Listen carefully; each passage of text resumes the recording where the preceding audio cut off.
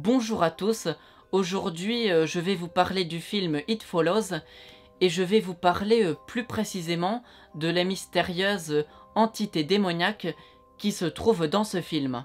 Bon, pour que ce soit plus simple, je vais surtout vous parler euh, de la signification de l'entité, puisque c'est un peu le grand mystère du film. Bon, avant de vous parler de ça, je vous remets vite fait l'histoire en tête. Donc dans ce film, on suit Jay, une fille qui rentre dans le monde adulte, et un soir, pendant qu'elle a un rapport sexuel avec son nouveau petit ami, eh bien il va lui apprendre qu'il lui a refilé une malédiction. Et cette malédiction se résume à être poursuivi sans arrêt par un démon qui te tue euh, s'il t'attrape. Voilà, euh, donc euh, l'introduction est faite. Donc maintenant, eh bien il est temps de vous parler de la signification de l'entité. Et croyez-moi, c'est plus compliqué que ça en a l'air. La première chose qui vient à l'esprit, c'est que ce démon représente euh, les maladies sexuellement transmissibles. Donc euh, les MST quoi. Cette théorie est cohérente dans le sens que la malédiction se transmet euh, avec un rapport sexuel. Donc le mode de transmission est exactement pareil qu'une MST. Du coup, dans le film, le sexe n'est plus lié au plaisir, mais il est lié euh, à une malédiction qui vous poursuivra euh, toute votre vie. Puisque oui, euh, dans le film, même si vous refilez la malédiction, eh bien vous vivrez toujours dans la peur qu'elle revienne vers vous.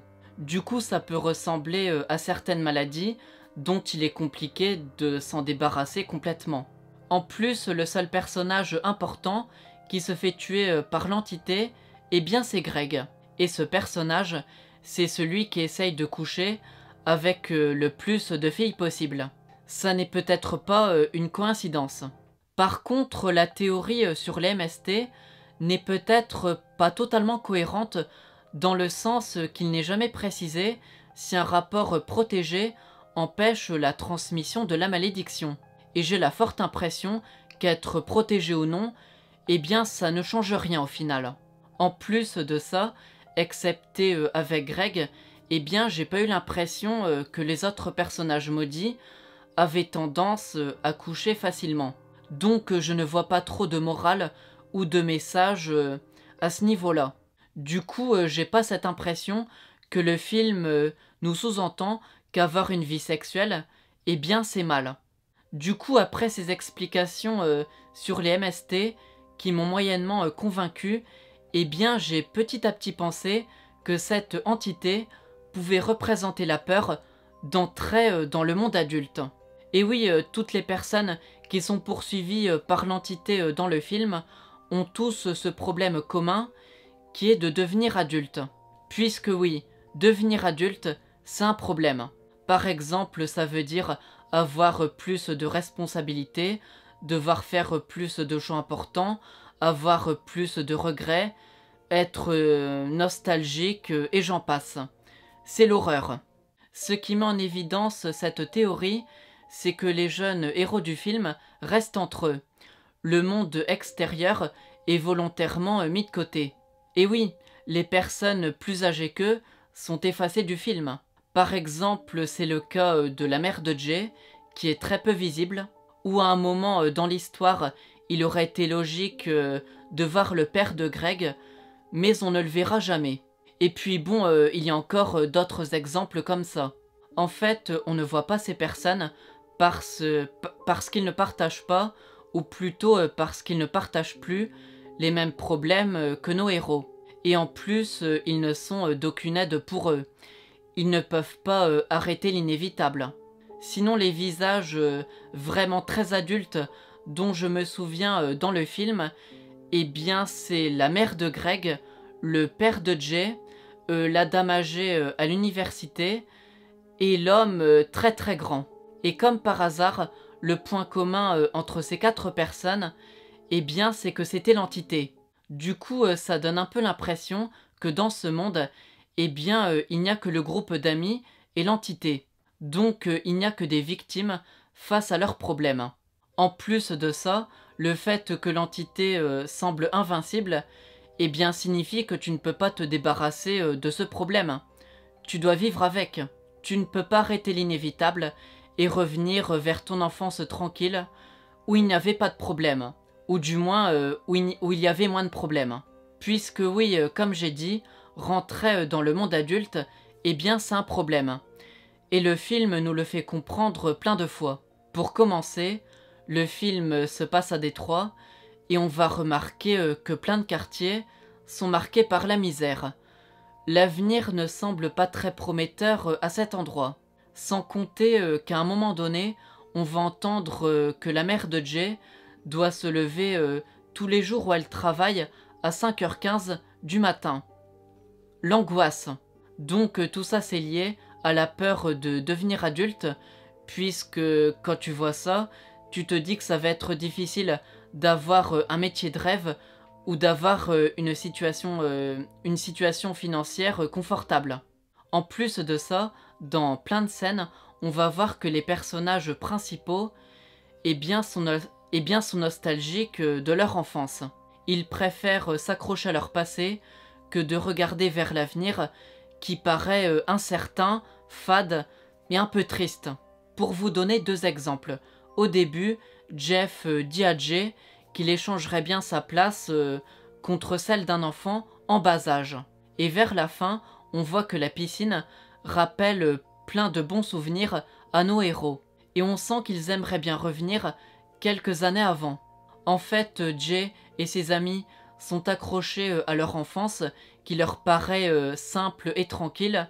Et là, tout d'un coup, et là, tout d'un coup, l'entité, donc le monde adulte, toque à leur porte et leur dit brutalement que tout ça c'est terminé et que maintenant euh, il faut grandir. D'ailleurs, pour nous faire passer le message de manière directe, on va voir plusieurs fois des photos de Jay, enfant, qui a l'air heureuse, et en même temps, on va la voir en vrai, euh, jeune adulte, qui est complètement euh, dépressive. Donc là, on comprend que c'est vraiment chiant de grandir. Sinon, pour continuer, devenir adulte sous-entend que le temps passe, et le temps qui passe euh, sous-entend la mort, et la mort euh, est symbolisée par quoi dans le film? Eh bien par l'entité. Donc euh, tu peux te cacher où tu veux, tu n'échapperas pas à la mort, comme dans le film, tu n'échapperas pas à l'entité qui te poursuivra toujours.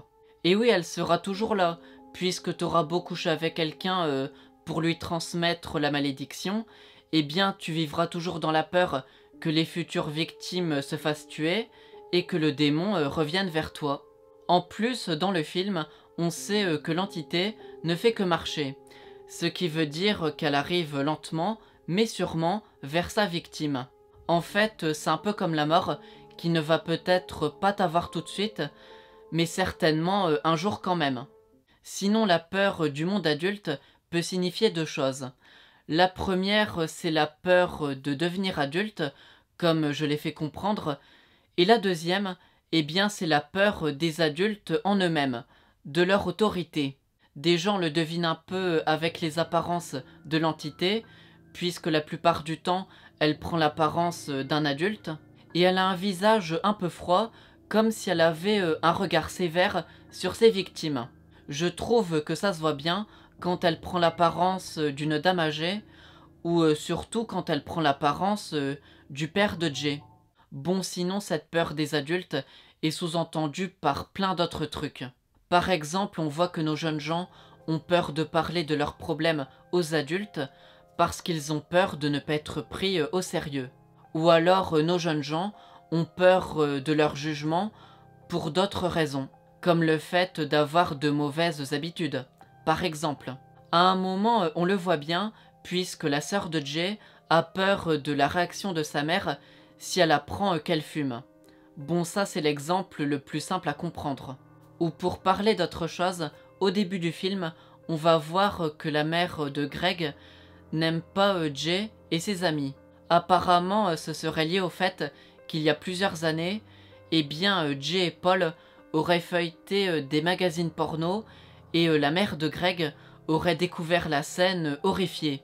D'ailleurs, en parlant de ça, on peut lier cette peur des adultes euh, à la sexualité, puisque des ados ou des jeunes adultes peuvent avoir peur ou avoir honte de parler de leur vie sexuelle ou amoureuse.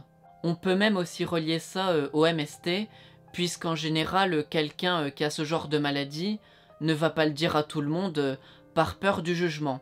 Encore une fois. Ah oui, et pour ajouter une idée, ce qui peut paraître évident, c'est que les rapports sexuels peuvent marquer la différence entre le monde de l'enfance et le monde des adultes. Donc ça aussi c'est un truc en plus qui peut expliquer le mode de transmission de la malédiction. Après, euh, toujours concernant la peur du jugement, on peut encore relier ça à d'autres choses très différentes, comme la peur ou la pression face à l'avenir professionnel. En gros, tout ça, c'est la peur de rater sa vie et de ne pas se sentir à la hauteur par rapport aux autres.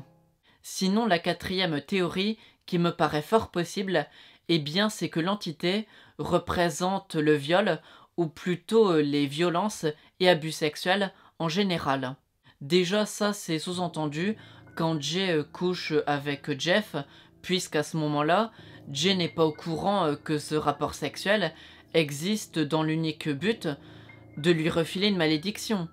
Donc en quelque sorte, on peut dire qu'elle n'était pas consentante de ce qui vient de lui arriver. En plus après, quand on la voit revenir chez elle, peu habillée, titubant et en état de choc, eh bien on a l'impression euh, qu'elle a été violée et qu'après l'agresseur euh, aurait pris la peine de la ramener et une fois euh, devant chez elle, eh bien il aurait laissé tomber comme ça. Ça peut paraître absurde, mais c'est ce que va croire l'entourage de Jay. Ensuite, ce qui me fait penser que ce démon représente les abus sexuels, eh bien ce sont tout simplement les apparences de celui-ci puisqu'on le voit souvent euh, sous les traits euh, de femmes nues, peu habillées, euh, battues ou abusées.